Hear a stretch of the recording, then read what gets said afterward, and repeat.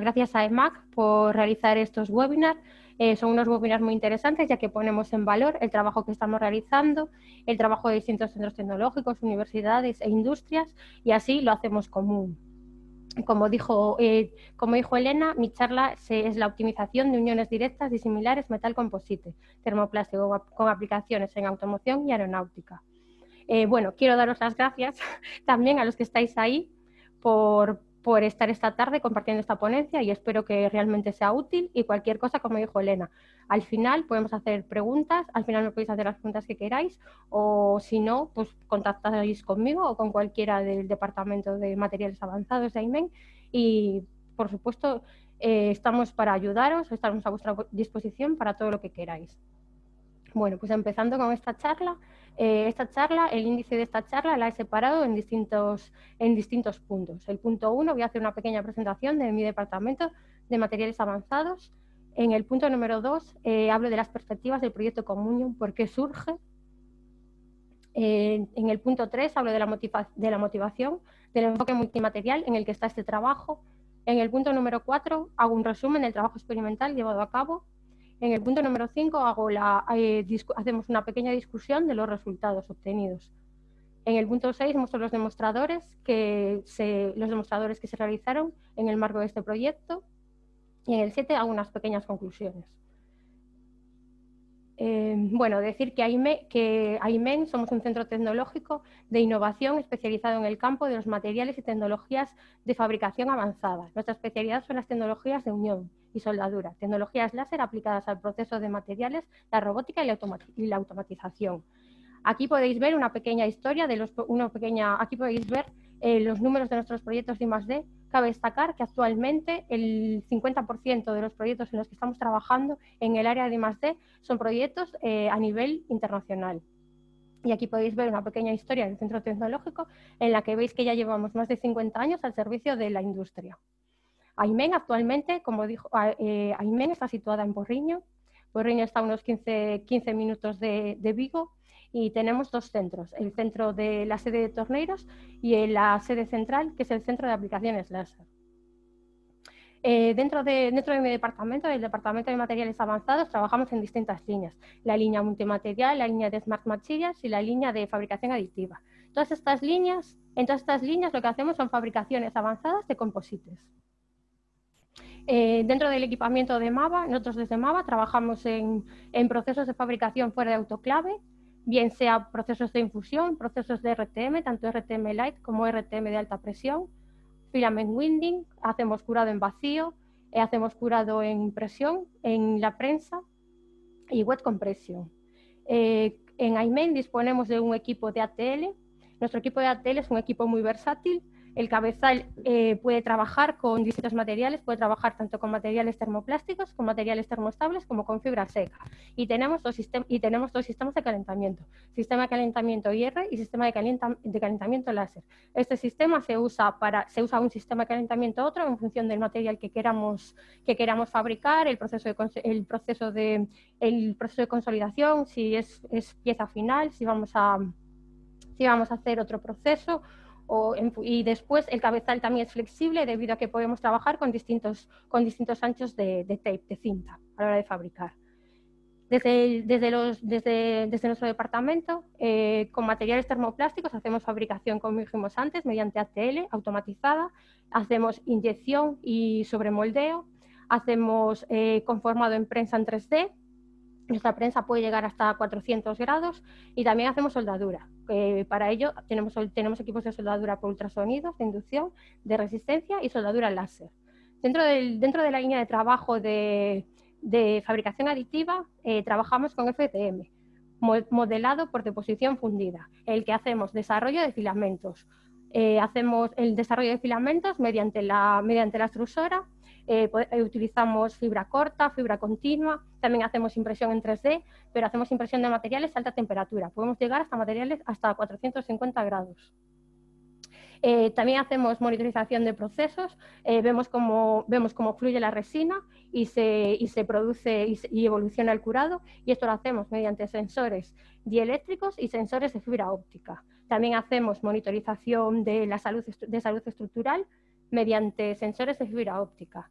Y también hacemos procesado láser de preformas secas, pre-pref y curado.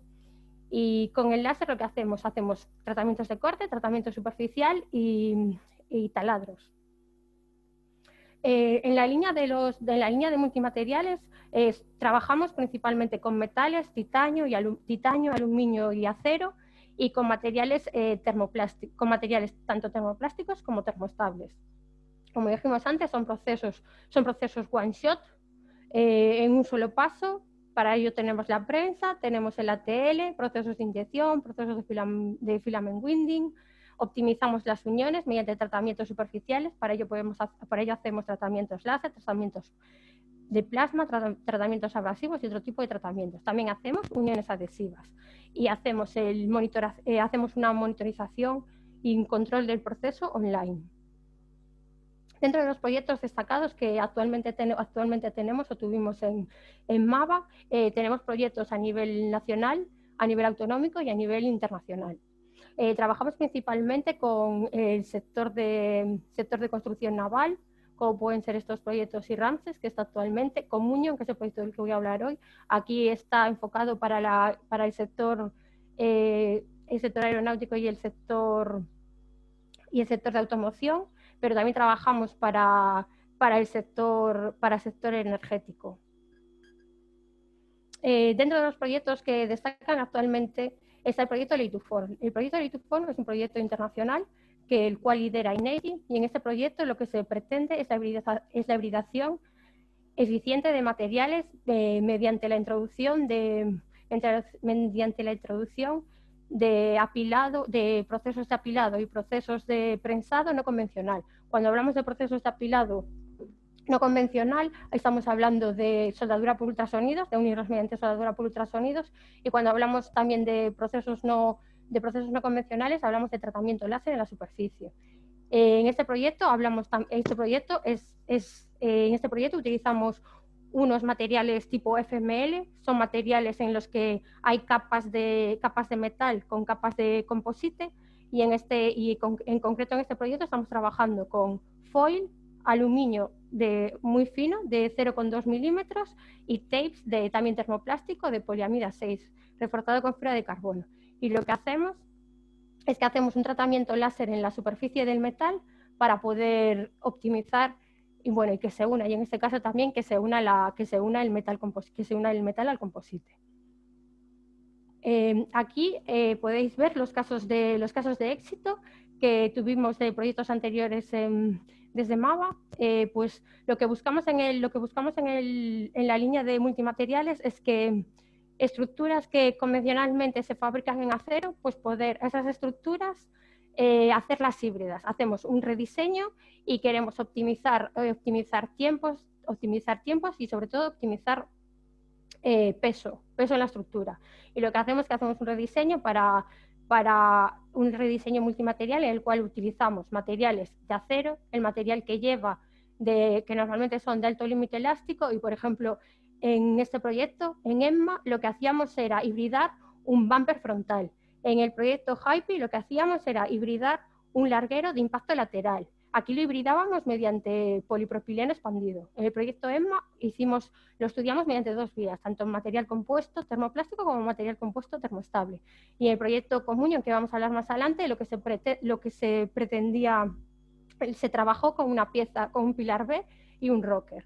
Lo que conseguimos con nuestras uniones, lo que conseguimos con nuestras estructuras multimateriales es que eh, bajamos peso, normalmente bajamos peso pues entre un 10 y un 15% hasta un 30% y además de bajar peso vemos que nuestras soluciones a pequeña y mediana escala conseguimos que tenga una energía de absorción superior al, una energía de absorción superior al, al componente hecho al componente fabricado tradicionalmente mediante metal.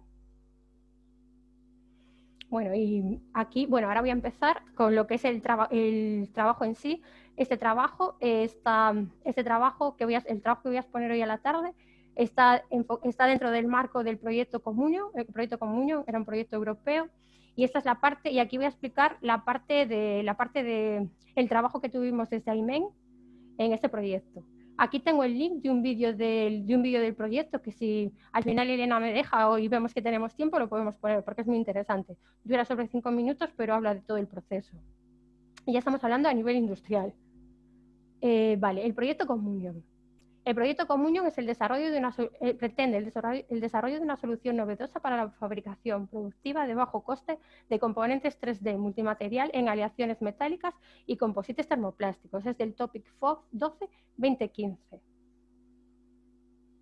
El objetivo, de, el objetivo de este proyecto, eh, el proyecto Comunion se aborda en tecnologías industriales avanzadas de proceso de unión y ensamblaje multimaterial el principal objetivo es optimizar la productividad y la eficiencia en coste de fabricación.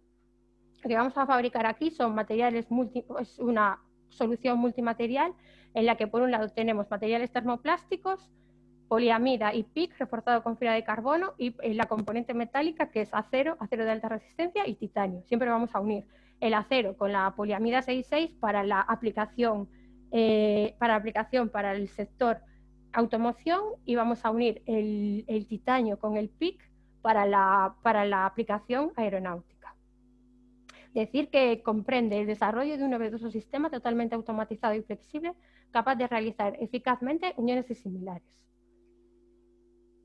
Eh, el proyecto Communion, el proyecto Communion tuvo una duración de 12 meses, tuvo, una, tuvo un presupuesto total de 5,6 millones de euros, el proyecto Comunion fue, eh, fue coordinado desde AIMEN, acabó el año pasado, acabó en julio del año pasado.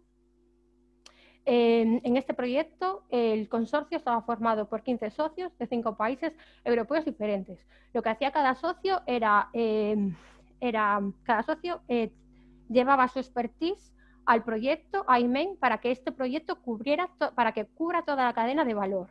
Con esto eh, el proyecto Comunion se desarrollaron diferentes tecnologías como el sistema de enriquecimiento CAD-CAM, el sistema de procesamiento láser de la superficie y el sistema, y el, proceso de, posicionamiento e unión, e y unión del metal y, y el termoplástico. Eh, en este proyecto teníamos dos aplicaciones, la aplicación, como dije antes, la aplicación para el sector de automoción y para el sector aeronáutico, y dos en user, Autotech y Aciturri. Eh, Motofil fue el encargado de llevar a cabo la integración de, la integración de las tecnologías, de las tecnologías del proceso con la, y unirlo con su aplicación final y decir que todo el proceso, eh, todo el proceso tiene un modelado multiescala y también Tecnaton desarrolló un proceso de, desarrolló un proceso de, para la calidad, para evaluar la calidad y es un proceso online y offline que os voy a contar que vamos a hablar más adelante mejor. Pero bueno, que todos los, todos los socios llevaron su expertise a este proyecto. Eh, para la fabricación, para fabricar componentes 3D multimaterial mediante un sistema robotizado de deposición con cintas de termoplásticos para superficies metálicas por láser, os voy a explicar un poco la celda, la celda de comunión. La celda de comunión es una celda dual formada por dos robots, como podéis ver aquí.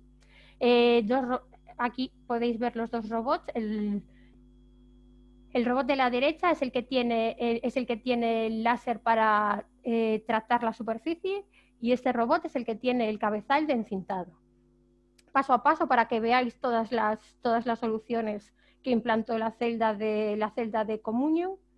Eh, decir que aquí el, vamos a empezar con, esta, con, este, con este robot. Este robot tiene un cabezal, un cabezal láser para el tratamiento superficial. Este cabezal es de, este cabezal, eh, es de una velocidad muy elevada, es una alta productividad. Eh, lo que hace también es, es, es muy reproducible este proceso y lo desarrolló ILT y Lunovo.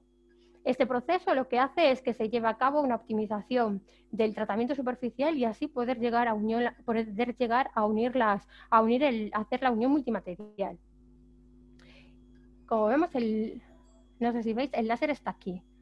Vale, en el láser, acoplado al láser, hay un acoplado al láser, hay un sistema, hay un sistema de inspección de la superficie el sistema eh, a una Speckle y visión, técnicas no destructivas, y lo que hace es que y lo que hace este lo que hace este sistema de inspección es que es un sistema offline, perdón, es un sistema es un sistema inline, es un sistema inline de y lo que hace es que, y lo que, hace es que mm, inspecciona la superficie y ve que la textura tenga, tenga, la, geometría, tenga la geometría que necesitamos para la unión. Eh, mira, que la, mira que la textura tenga la altura, tenga el ancho y tenga el espaciado que necesitamos para, para que, que necesitamos para llevar a cabo la unión. El otro cabezal, el otro robot tiene un cabezal tiene el cabezal de encintado multimaterial. Este cabezal fue desarrollado por AFPT ese cabezal es un cabezal que se usa con materiales termoplásticos, se puede usar con distintos materiales termoplásticos, pero a lo largo de este proyecto lo usamos con poliamida 66. Ese cabezal es versátil ya que podemos trabajar también con distintos anchos de, con distintos anchos de tape, hasta un máximo de 50 milímetros. Además de este, además de este cabezal, el, calentamiento, el, calentamiento, está asistido por unos VEXES, que son unos microláseres de que son un calentamiento por microláser. Aquí podemos ver el sistema VEX, el sistema VEXES. El sistema fue, eh, fue desarrollado por Trump, por Trump y lo que hace es que es un sistema dual. Lo que hacemos, es que mediante un, equipo calentamos, la superficie y mediante el otro, equipo calentamos el, por donde, va el tape. Aquí va el tape, se va posicionando, aquí va el rodillo que lo, que lo apila y entonces tenemos dos sistemas de calentamiento. Esto es crucial. El hecho de desarrollar un sistema dual fue muy importante, ya que, debido, ya que estamos hablando de unir, eh, un acero, está texturizado, pero es un acero, con un material termoplástico en un solo paso. Entonces aquí es, es, imprescindible calentar el metal. Entonces lo que hace este sistema es calentar el metal. En la primera capa va muy lento, tiene que ir lento porque tiene que calentar el, tiene que calentar el metal y entonces este va, este va calentando el metal y este va haciendo el posicionamiento. En la primera capa esto es crucial y en la segunda capa aquí tiene menor potencia. Lo, que, lo, bueno de este, lo bueno de este equipo es que es un equipo que se puede programar y se puede y no emite una intensidad constante, sino que tú lo puedes cambiar en función de la capa en la que estás o de la variabilidad del, proceso. Y, y los vexels están aquí. Aquí tenemos la cámara de NIT. La cámara de NIT lo que hace es que controla el, hace un control y monitorización de la temperatura a tiempo real. Tenemos aquí la cámara de NIT y está aquí en el cabezal, está posicionada aquí. Además de esto, este sistema tiene un sistema de inspección mediante termografía activa y este es un sistema online aquí va, instalada, la, cámara termográfica y lo que hace es eh, eh, ver que no haya defectos a la hora de posicionar nuestros tapes en la superficie. Bueno, decir que el sistema Comunio es un sistema cognitivo basado en, en un sistema de simulación multiescapa, un sistema Kafka enriquecido, basado en un sistema autoadaptativo, basado en un sistema de apoyo a la decisión. Eh, cuando decimos que es un sistema cognitivo, este es un sistema offline y lo que hace es optimizar la configuración de todo el proceso. Cuando hablamos de simulación multiescala, lo que hace es predecir el comportamiento a nivel macro basado en un rendimiento micro de la interfase. Cuando hablamos de Kafka enriquecido, lo que hace es que gestiona los robots y además de gestionar ambos robots, gestiona toda la celda. Cuando hablamos de un sistema autoadaptativo, significa que se produce una modificación del proceso basado en los, en los parámetros QDS, cuando hablamos de parámetros QDS, estamos hablando de los sistemas de diagnóstico de, la, calidad. Ese sistema lo, desarrolló Tecnaton en colaboración con y Este sistema hace lo que vimos antes. Tiene, por un lado, por un lado inspecciona, hace una inspección de que el texturizado tenga la geometría, tenga la geometría óptima y por otro hace una inspección de que el tape, de que el tape a la hora de posicionarse no tiene defectos uno con otro. Y cuando hablamos de sistema de apoyo de la decisión, lo que quiere decir es que proporciona un sistema de gestión de datos para apoyar en la fase de diseño de producto. Vale, aquí podemos, aquí podemos ver la pieza final, al final que la pieza final que seleccionamos para la aplicación fue un rocker. Aquí podemos ver los rockers. Este es el rocker texturizado por ILT con su tecnología de alta productividad y este es el rocker texturizado en IMEN con la tecnología de media productividad. Y aquí podemos ver los rockers eh, ya, con el, posicionamiento, con el refuerzo de termoplástico eh, fabricado por IPT y fabricado por FPT. Y aquí podemos ver la celda. Esa celda era cuando estaba en Motofilm, que era cuando se estaba haciendo la integración, y posteriormente esta celda se llevó a una situación industrial. Se, dejó en, se montó en Gestamp. Es decir, que es un TRL7, estamos hablando de un TRL bajo. Eh, la motivación, la motivación, dentro del punto 3, dentro de la motivación del enfoque multimaterial, eh, vamos a, dentro, de aquí tenemos que ver que, por qué utilizamos multimateriales. Bueno, tenemos que recordar que uno de los principales retos de la industria del transporte es reducir, es reducir las emisiones de CO2. Decir que a nivel, a nivel europeo, sobre todo, la reducción de las restricciones están aumentando para poder para reducir las para reducir las emisiones de CO2, con lo que el sector transporte tiene, tiene un reto muy importante. Entonces, a la hora de cuando nosotros vamos a rediseñar un componente y cuando nosotros cuando nosotros vamos a rediseñar un componente, lo que tenemos que ver y a la hora de seleccionar el material es muy importante ver qué material, ver, es muy importante hacer la selección de materiales, ya que en el mercado actualmente hay un amplio abanico de materiales, de materiales a la hora de usar. Pero tenemos que ver, eh, tenemos que buscar el equilibrio entre la reducción de costes, o sea, la reducción, la reducción de emisiones de CO2, o sea, la reducción de peso y el, y el, y el coste del producto final. En ese sentido, en ese sentido, en la reducción de pesos juega un papel muy importante la, la fabricación, el uso de materiales, termo, eh, de materiales compuestos de matriz, termo, de, matriz, de, matriz polimérica. Y además, si nosotros cogemos y, unimos, y si nosotros cogemos una solución y esa solución hacemos una solución multimaterial, lo que vamos a conseguir es una combinación inteligente para obtener las propiedades óptimas de cada material. Lo que tenemos que ver es colocar el material adecuado en el lugar adecuado, como siempre se dice. Y entonces, pero a la hora de hacer estas, a la hora de hacer estas, a la hora de hacer estas uniones disimilares, es crítica la, es crítica la unión, la interfase de la unión. Lo que, bueno, cuando hablamos de un diseño multimaterial, el principio básico es la combinación de materiales de distinta naturaleza, que en principio de distinta naturaleza, de modo que se utilice un material óptimo para cada propósito, permitiendo una mayor relación rendimiento-coste de los materiales que utilizando los materiales por separado. Eh, a, la hora de, hora de hacerla, hora de rediseñarla, a la hora de rediseñar y diseñar la unión, la unión disimilar, decir que, claro, tenemos bastante, tenemos bastantes retos, ya que necesitamos que esa unión sea una unión resistente, sea una, unión duradera en el tiempo.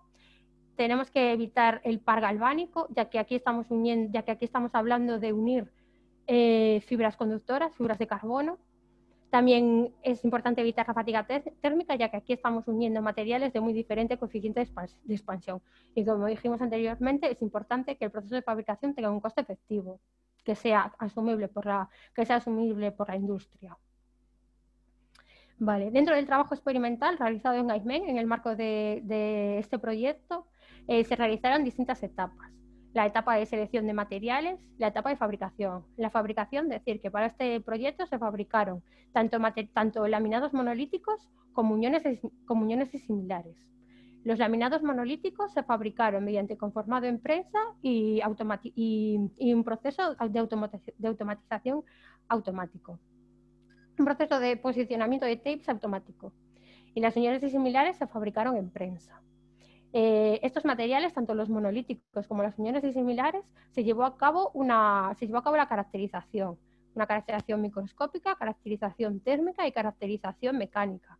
Además de las uniones disimilares, debido al par galvánico, eh, se realizaron ensayos de corrosión y ensayos de durabilidad. Eh, los materiales seleccionados eh, para, esta, para esta solución, en, la parte metálica se seleccionó un Usibor 1500, es un acero de alta resistencia, con un recubrimiento aluminio-silicio en la superficie de entre 30 y 35 micras. Y además se seleccionó un titanio comercial de grado 5. Ambos, ambos, materiales, ambos materiales metálicos son materiales ampliamente utilizados tanto en el sector de automoción como en el sector aeronáutico. Y para los materiales termoplásticos se seleccionó para la aplicación, para la aplicación de automoción se seleccionó poliamida 66 reforzada con fibra de carbono suministrada por Celanes con un 42% de porcentaje de fibra. Y para la solución aeronáutica se seleccionó eh, PIC reforzado con fibra de carbono, ambos unidireccionales, suministrado por Supreme, con una, con una concentración con un porcentaje de fibra del 55%. Eh, para llevar a cabo las uniones eh, se realizaron distintos tratamientos superficiales. Eh, hicimos un tratamiento a nivel, un tratamiento para utilizarlo como de referencia, un tratamiento granallado, un tratamiento ampliamente utilizado y estándar en la, industria. Además, utilizamos un, tratamiento texturizado más innovador, un tratamiento láser. En AIMEN, el láser utilizado fue un láser de onda continua, un True Fiber, de potencia máxima 400 vatios, con un escáner galvanométrico. Como dijimos antes, aquí en AIMEN tenemos aquí la, productividad es media de nuestro, del láser. Y además las, las, además las, el titanio, las probetas de titanio, hicimos un tratamiento de decapado químico, un etching, en el cual introdujimos, en, el cual se introdujeron las muestras durante un minuto en una disolución 3% de, de ácido clorhídrico y 3% de ácido nítrico.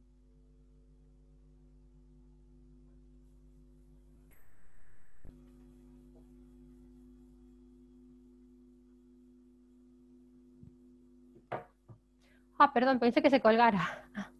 Vale, vale. Para la fabricación de la para la fabricación no me pasé ninguno, vale. Para la fabricación de la para la fabricación de la unión se, se realizaron las, los parámetros que se los parámetros que se llevaron a cabo fueron las, las condiciones óptimas de, las condiciones optimizadas de, de, ciclo. Como dije antes, se conformó en, en prensa eh, es un proceso one shot en un solo paso, fuera de autoclave y, es un proceso mediante co-curado y, sin, y sin, sin, adhesivo en la unión.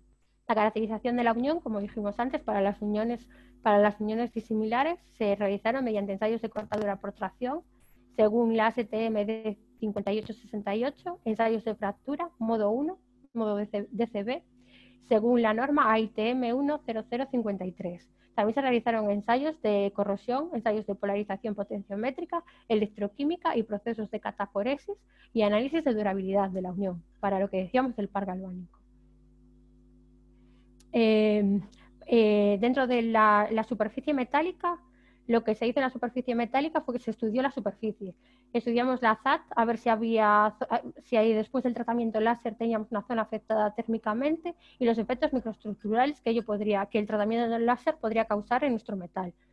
Eh, para ello utilizamos, eh, utilizamos eh, microscopía óptica, SEM y microdurezas. Y también estudiamos la rugosidad y los parámetros superficiales.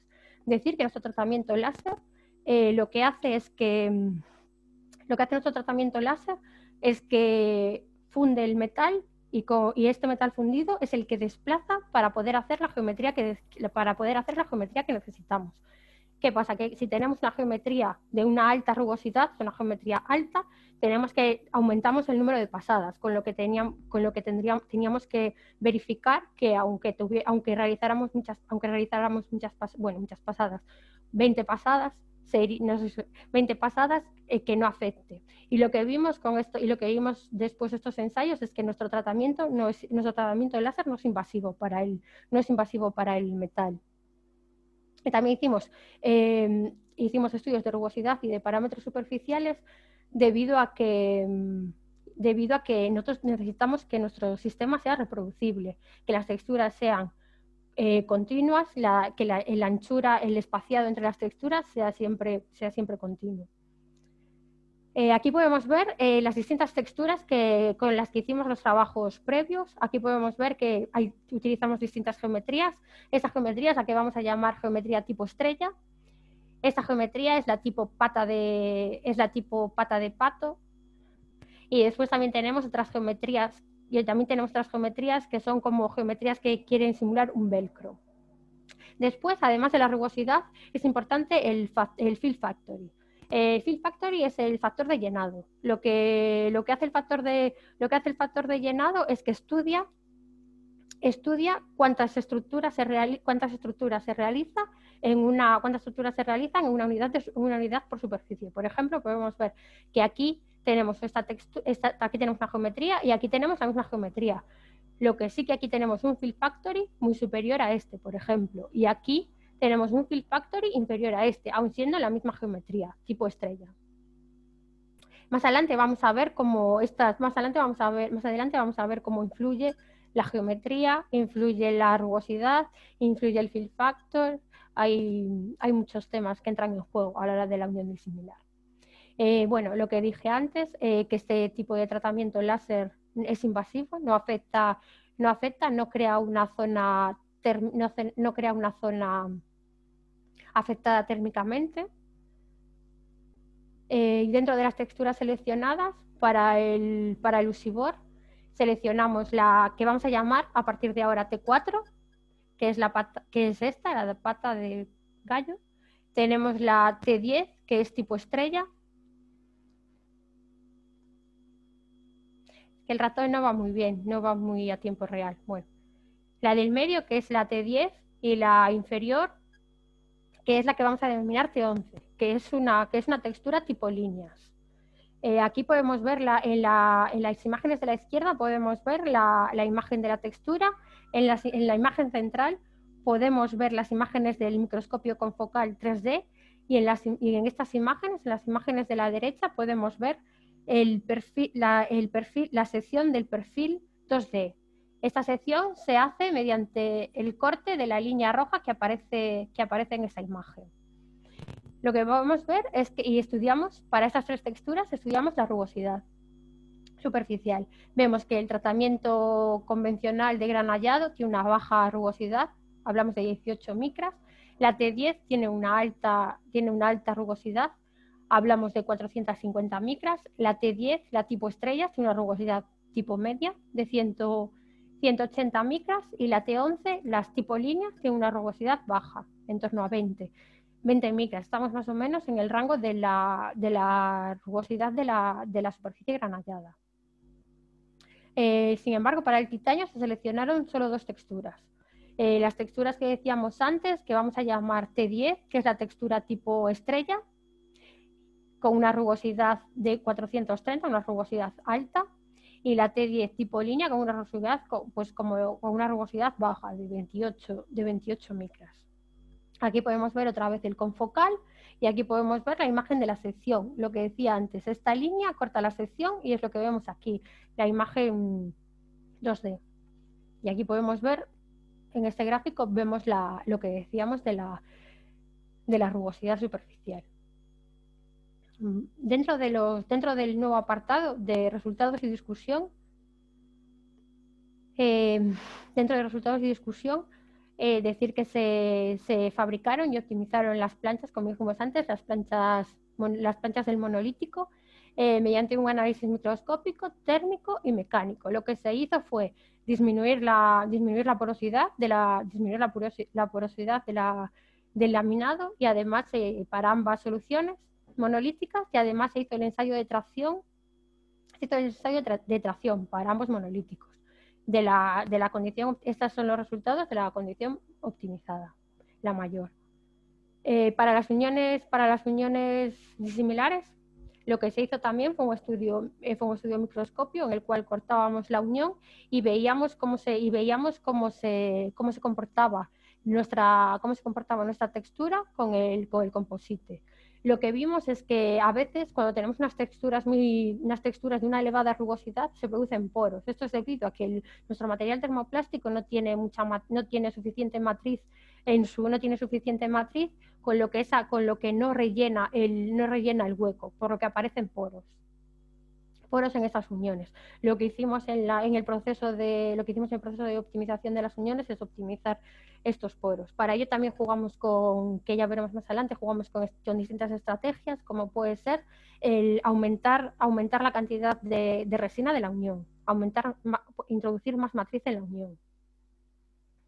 Para el conformado de, la, para el conformado de las uniones disimilares, eh, estos son los parámetros optimizados, estos son los parámetros optimizados del proceso para la, para la, para la poliamida 6,6 la temperatura óptima fue de 290, en cambio para el PIC fue de, 390. La presión fue para ambas de 15, de 15 newtons. El tiempo, de 20, el tiempo del proceso, del ciclo, es de 20 minutos.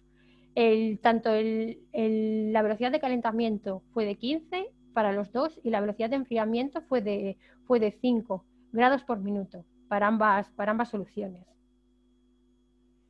eh, en los resultados de los, los resultados de los, los, resultados de los ensayos a cortadura por tracción de las uniones de las uniones soldadas las vamos a en las uniones directas las vamos a ver en esta gráfica en esta gráfica para esta gráfica es para Lucibor y la poliamida 66 lo que vemos en esta gráfica es que estudiamos el, estudiamos el acero sin tratar el acero con el tratamiento granallado estudiamos el acero con el tratamiento con el T4, que era lo que decíamos de la, estructura tipo pata, de, tipo pata de pato.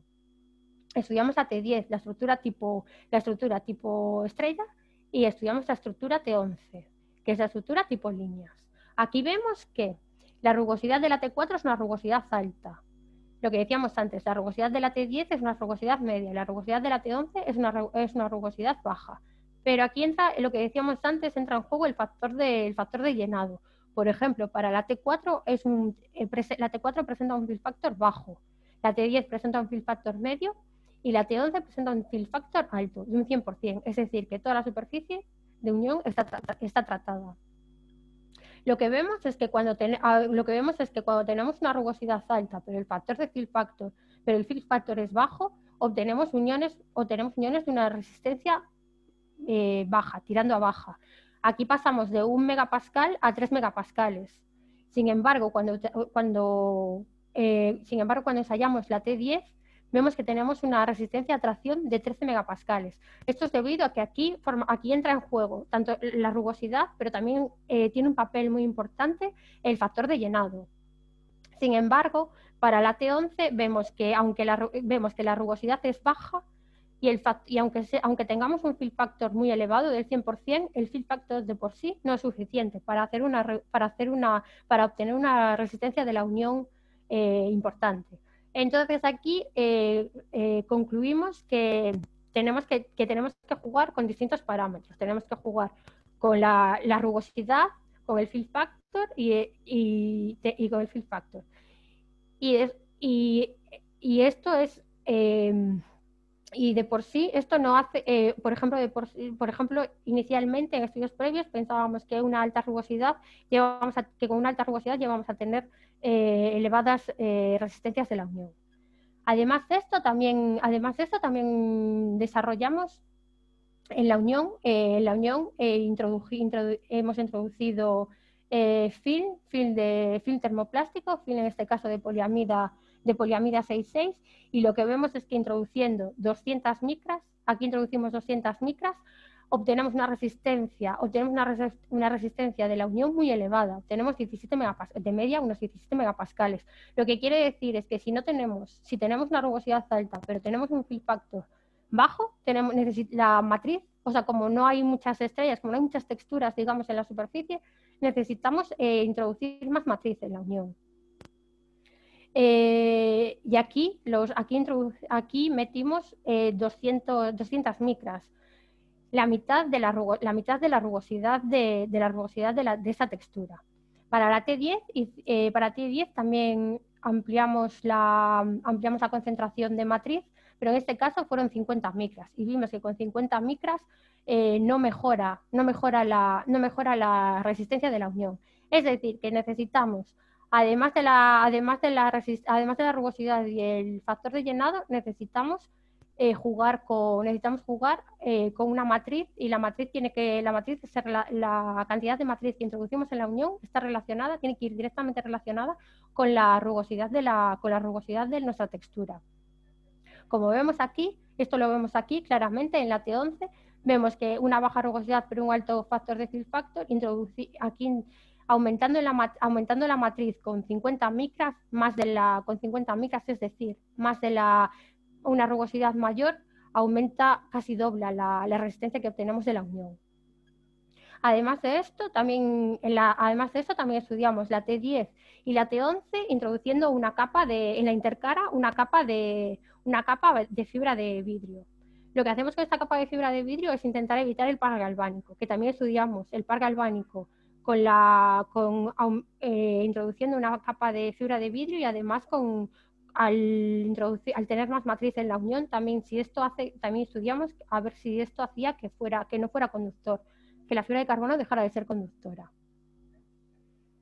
Eh, además de esto, también, también, se estudiaron los modos de fallo y vemos que para, el, para, la para una superficie no para una superficie de acero no tratada y una gran hallazgo, además de obtener unas bajas resistencias, obtenemos eh, fallos, fallo, un fallo adhesivo de la unión. Lo mismo pasa con la T4. Al debido al bajo fill factor, obtenemos, una, obtenemos, un, obtenemos una resistencia baja, obtenemos, una obtenemos un modo de fallo adhesivo.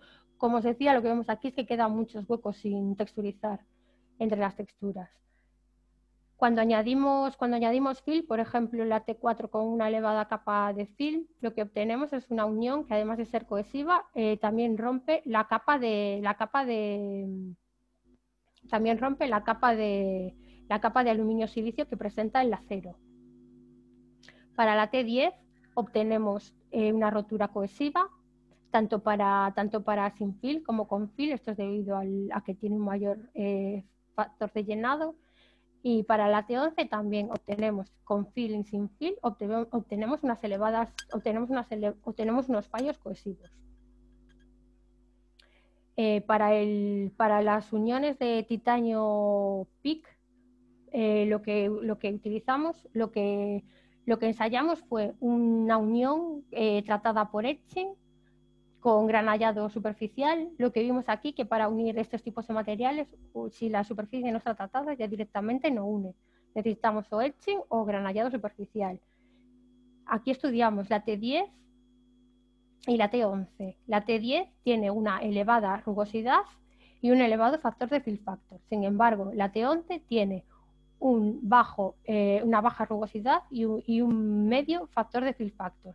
Lo que vimos es que la T10 obtenemos, pasamos de obtener, un, de obtener una resistencia de unión de un megapascal, obtenemos 4, 4 megapascales en la unión. Y con la T11 sí aumenta en relación al, sí aumenta en relación a estos tratamientos, pero aumenta un, pero conseguimos 2 megapascales.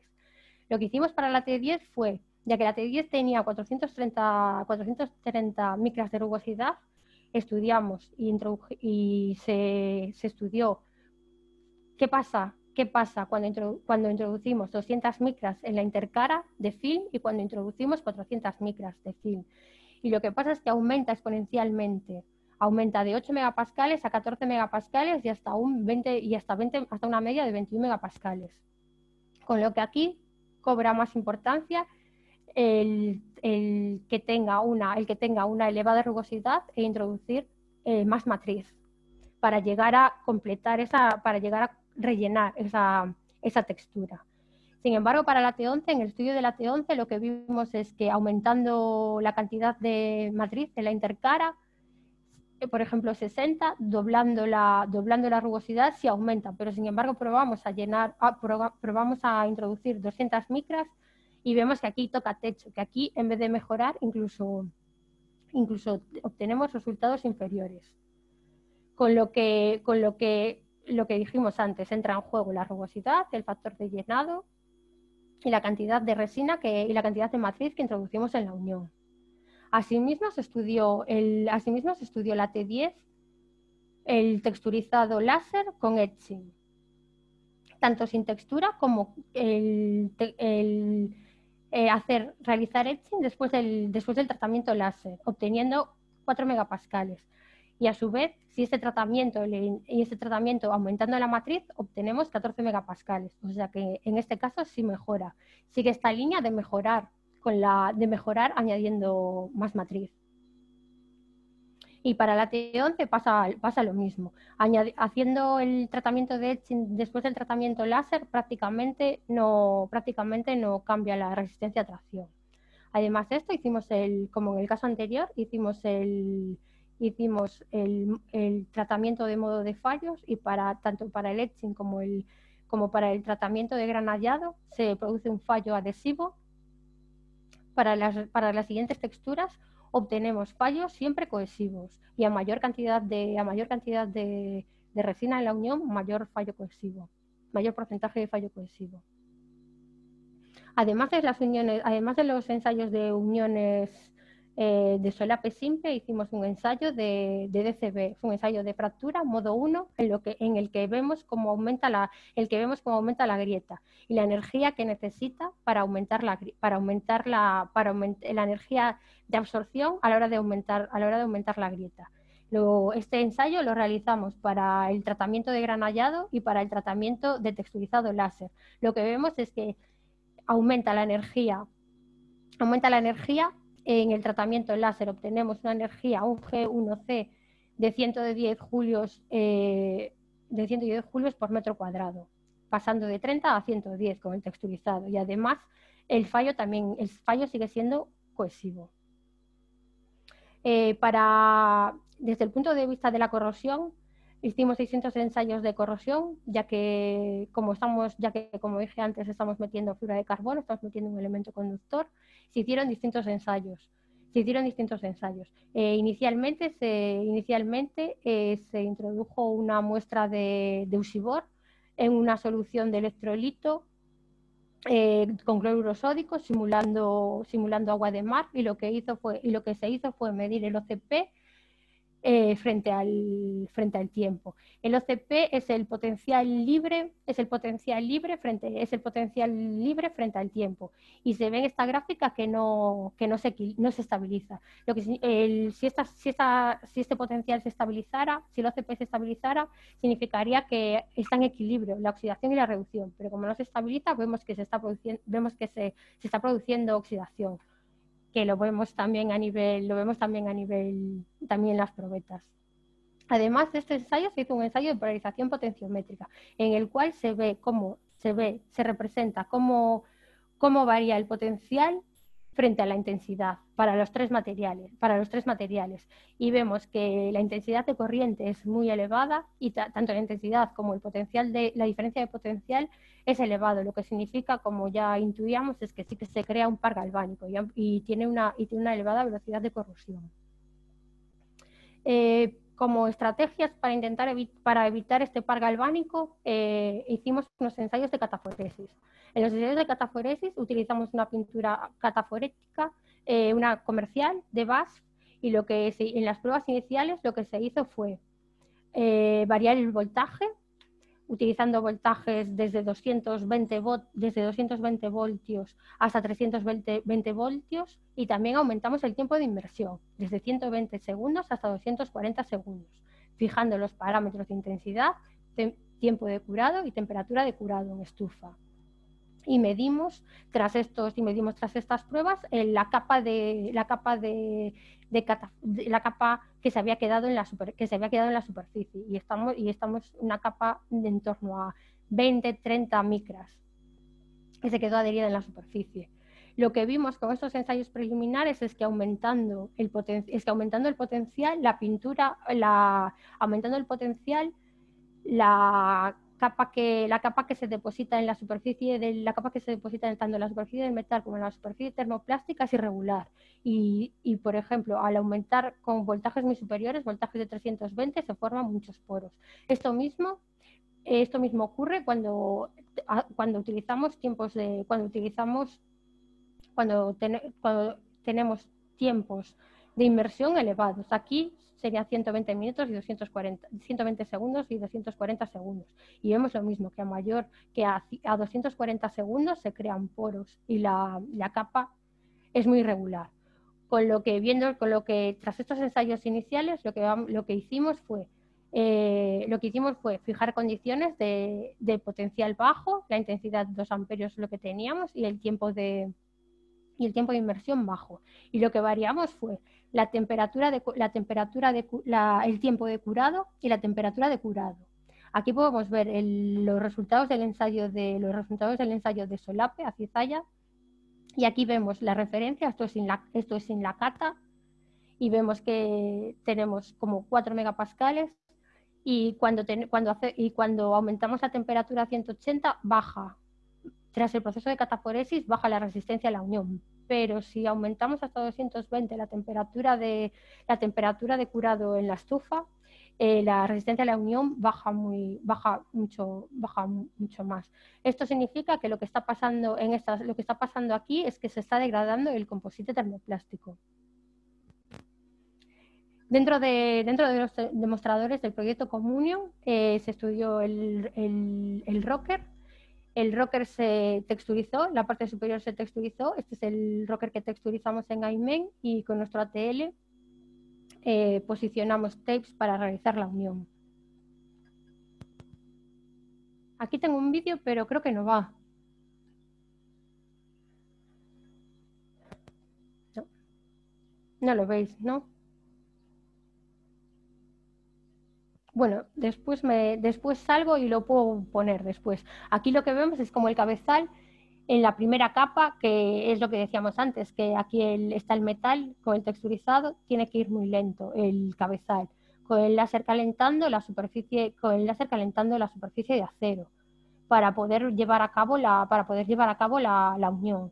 ¿Qué pasa? Que la primera capa estamos hablando de temperaturas bajas, muy bajas, y después en la segunda capa ya son, ya son velocidades, estamos hablando de velocidades muy bajas. En la segunda capa ya son velocidades eh, medias, tirando a medias, y después a, medida que vamos poniendo capas ya podemos, ya podemos llevar ya podemos realizarlo mediante una velocidad normal, alta. Eh, además de eso, también los rockers se hizo, además de los ensayos que vimos antes a nivel laboratorio, también se hicieron ensayos a nivel eh, media escala, para se hicieron ensayos de flexión a tres puntos, también para alimentarlos, también para alimentar la simulación, los estudios de simulación, y en el cual se ensayaron la, nuestra, se ensayó nuestra nuestra referencia, que es el, que es el rocker sin, sin refuerzo, el rocker con refuerzo, el V1, que es el rocker con refuerzo en la parte inferior, rocker cerrado, y, el v, y la V2, que es un rocker con refuerzo en la parte inferior y en la parte superior y vemos, que con los refuerzos aumenta la carga máxima y la energía absorbida en relación con nuestro, con nuestro rocker de referencia. Las principales conclusiones del proyecto Communion es que las soluciones multimaterial son una buena opción para implementar los materiales termoplásticos en los sectores, en diferentes sectores.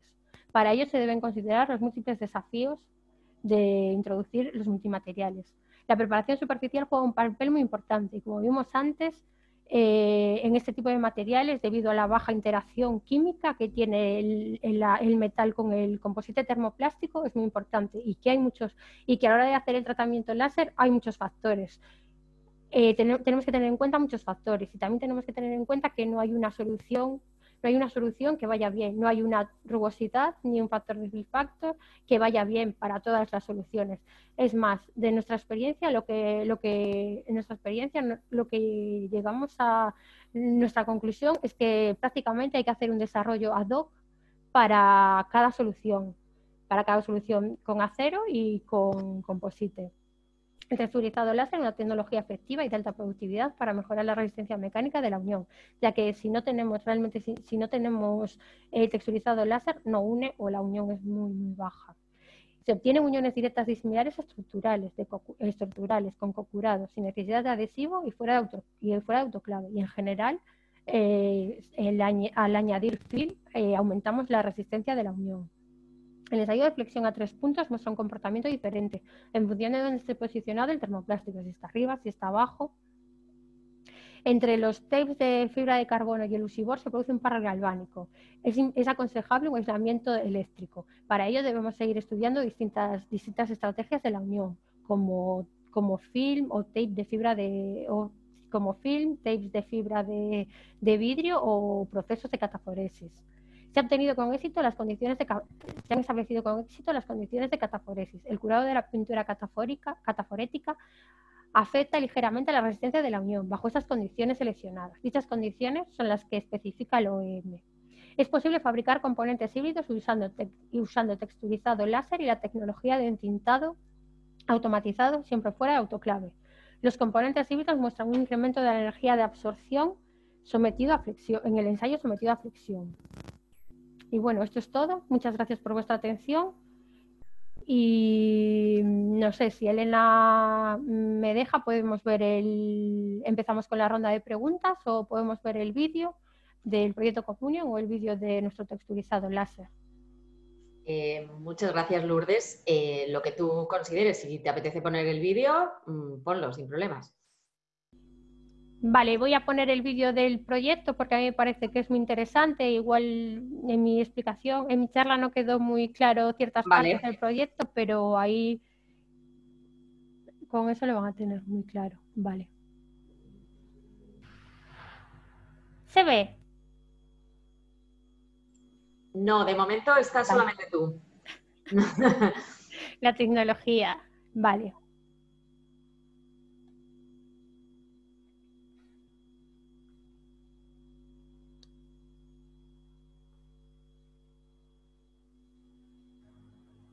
Comparte pantalla. Sí, sí, espera, es que ahora... Ahí. Vale, ya, ya se ve. Si lo haces en grande. Sí. Vale. Entonces, pasito a pasito. Vale, perfecto. Ahí. Y ahora le doy al play.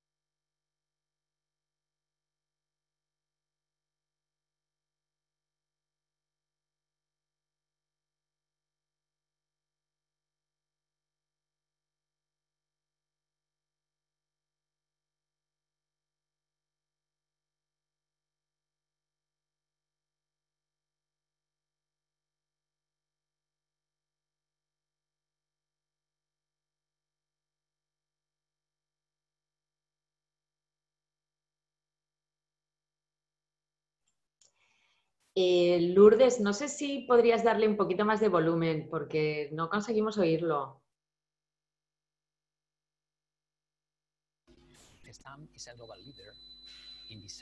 Ahora mejor. Sí, ahora sí. During the process of conception, design, and production of parts, Gestam is focused on reducing weight and increasing the passive safety. In this context, Gestam took part in the Communion project to research on technologies about adding fibers to, in our case, hot stamping parts. We are always open to work on innovative solutions and concepts that allow us to fulfill with the both targets, reducing weight on vehicles and improving the performance of safety in our parts. On the other hand, thanks to this innovative project, we increase our knowledge about the similar joints of new materials to press hardening parts. It is for sure that we will be using this knowledge in future developments for unique solutions inside Gestam.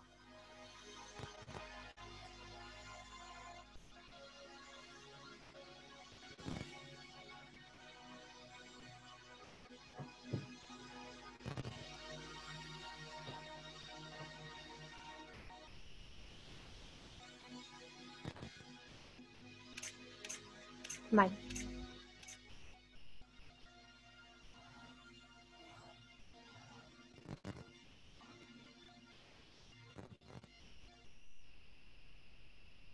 Vale. Vale, perfecto. Elena, ¿me oyes? Mm, vale, Lourdes, pues eh, muchas gracias eh, por compartir con, con nosotros tu, tu conocimiento en este, en este proyecto que, que bueno, que hemos visto todos que, que, habéis trabajado mucho y muy intensamente. Eh, no sé si quieres, eh, bueno, este, hemos tenido un pequeño problema. Inicialmente se escuchaba el vídeo, luego ha dejado de escucharse, pero creo que es público, ¿no? Está en YouTube. Sí, sí, sí, ese vídeo está en eh, YouTube, pues a que quien quiera verlo. Sí que es verdad que cuando yo, cuando yo silencié mi micrófono, silencié el vídeo, que no me di cuenta. Vale. Si te parece, pon el enlace de manera que el que lo quiera ver, eh, el enlace lo tenías puesto en una de las, en, sí. en una de las slides, ¿no? Por si sí. alguien lo quiere, lo quiere ver luego cuando, cuando acabemos.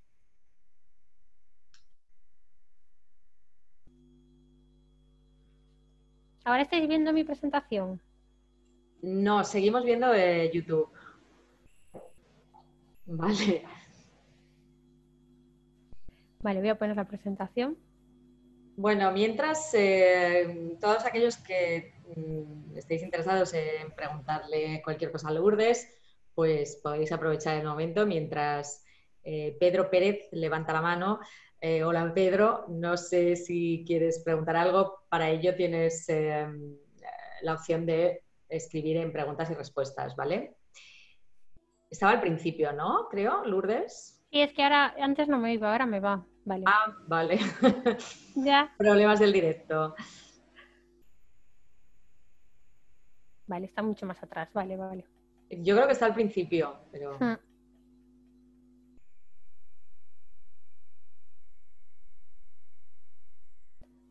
Vale.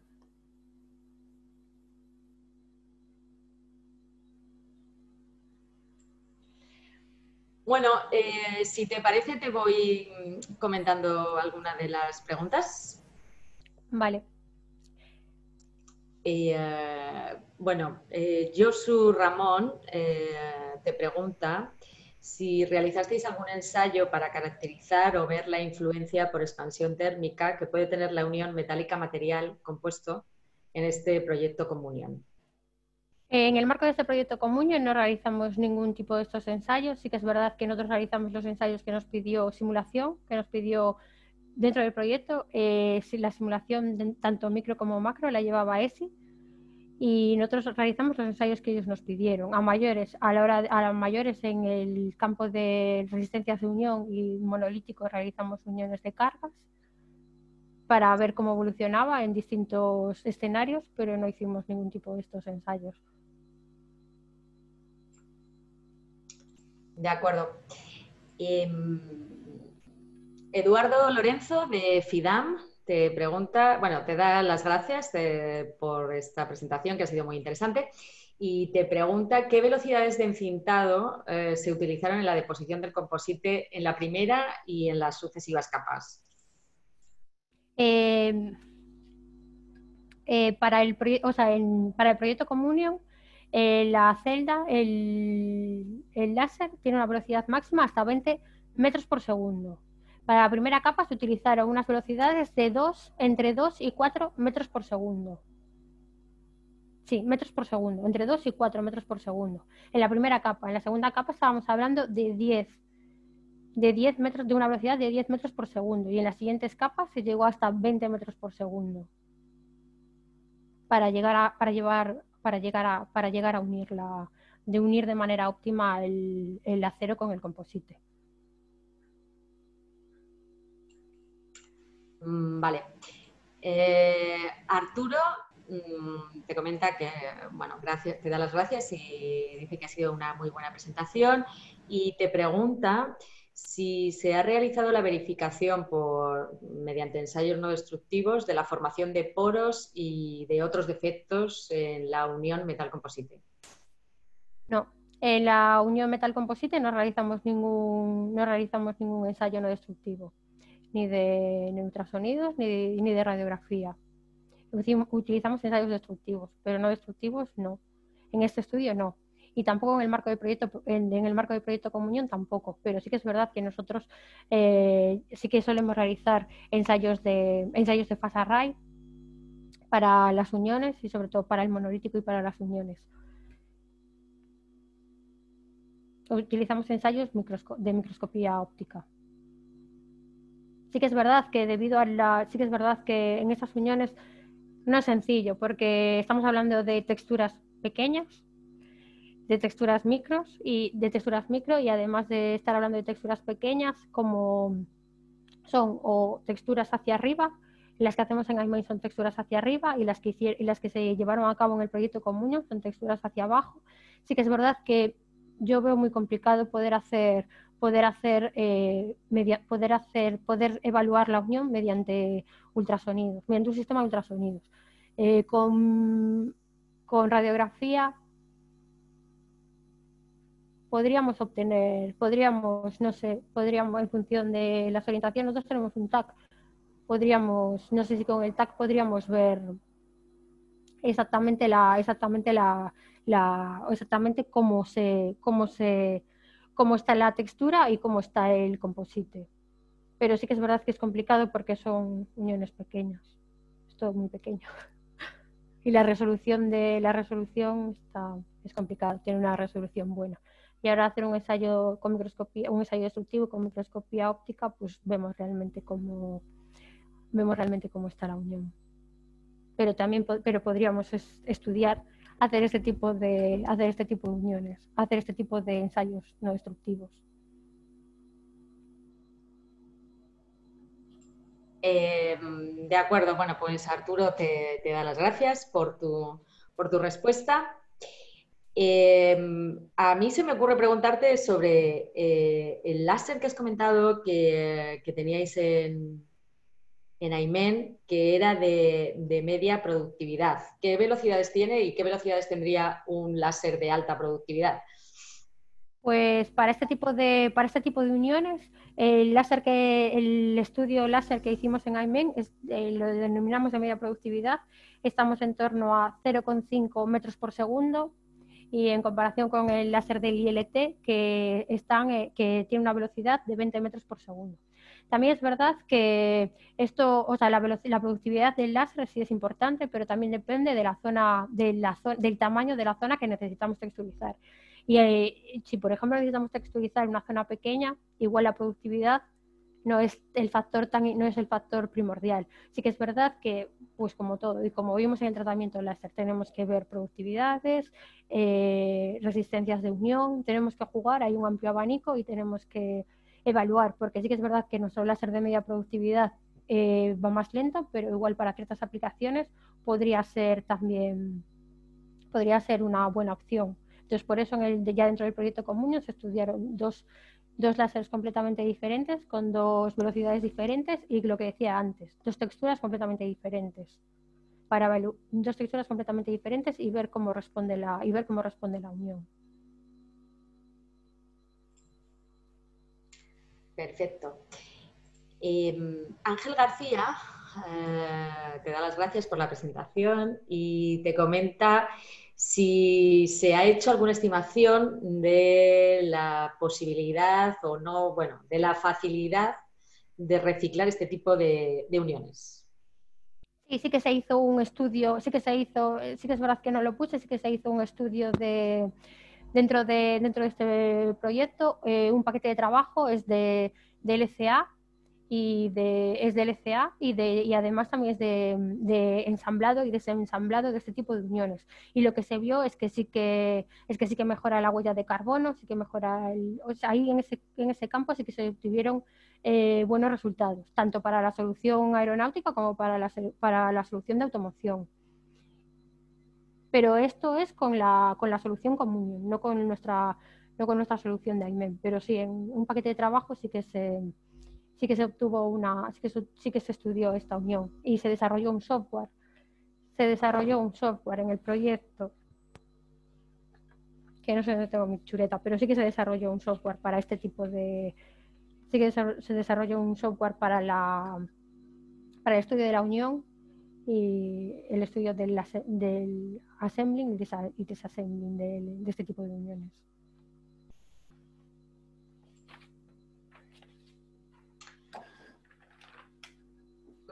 Vale.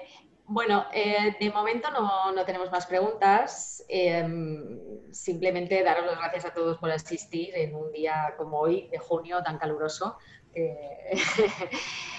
Em, comentaros que el mes que viene eh, tenemos el último webinar de IMAC antes de verano, será el 21 de julio em, por parte de la Universidad de Rey Juan Carlos y bueno, pues tratará sobre impresión 3D de probetas de Surilin con nanotubos de carbono de pared múltiple. Eh, si tenéis alguna pregunta más, pues estaremos un poquito más con, Lourdes.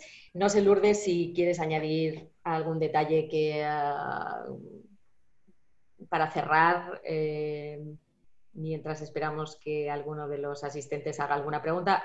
estamos viendo tu escritorio. Eh, y tu foto de la lavanda. Em, si puedes compartir de nuevo la... Sí, es que estaba buscando, pero bueno, estaba ah, buscando... la información, vale. Pero si no, da igual sino que me, si necesitas... Si, quieres, cuando, cuando les pasemos eh, el PDF, si quieres a lo mejor puedes anotar algo allí. Sí. Lo incorporas, ¿vale? Lo, incorporo, a la presentación en conclusiones y además si quiere, si quiere contactar conmigo no tengo problema en, en darle información más detallada. Vale. Eh, bueno, Iñaki Eguía te pregunta si eh, se observó alguna diferencia en el comportamiento a flexión del demostrador dependiendo de si se recubría el interior o el exterior de la superficie horizontal de la U.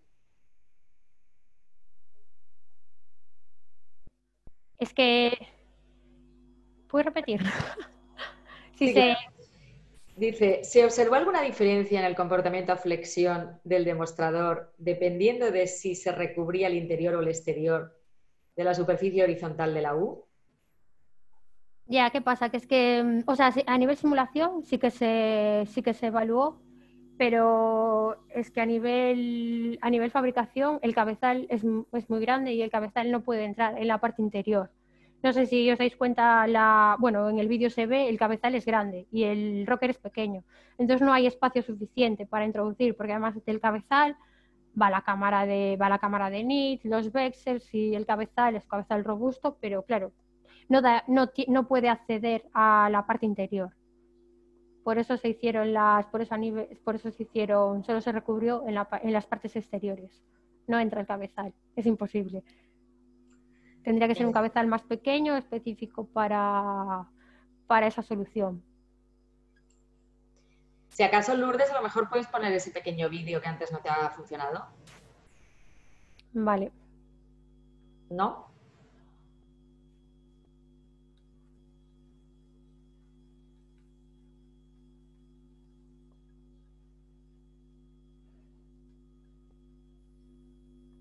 ¿Se ve? Perfecto. Vale, perfecto. Vale, pues aquí es lo que veíamos de la primera capa. Esta primera capa, eh, aquí este es el, con el ATL de AIMEN. Aquí el calentamiento es por láser. Aquí lo que vemos es que nuestro, nuestro rocker, esta parte superior, está texturizada. Y lo que hace la primera capa es muy lenta, lo que decíamos, porque tiene que calentar. Y aquí nuestro láser sí que podemos, podemos orientarlo pero como veis el láser está enfocando, está enfocando principalmente aquí al nip point. Si, enfocamos el, si lo enfocamos al acero, necesitamos otro sistema de calentamiento para poder hacer como hacía el sistema dual de Vexes. Entonces aquí aún es una velocidad inferior a la, a la de la celda, a la velocidad que se consigue con la celda comunión. Eso es velocidad real de la primera capa, velocidad baja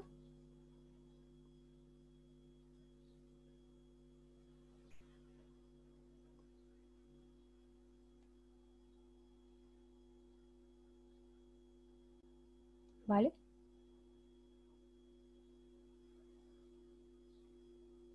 En este caso, la siguiente capa, la siguiente capa ya es una velocidad más elevada. Y así en las capas sucesivas.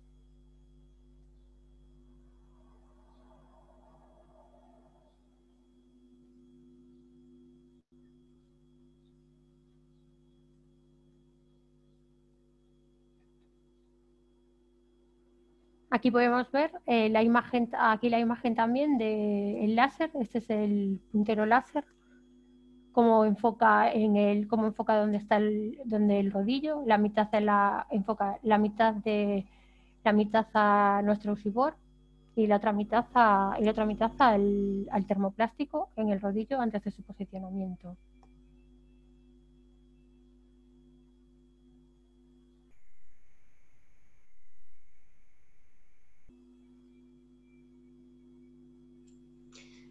Bueno, pues yo creo que con el vídeo nos ha quedado mucho más claro.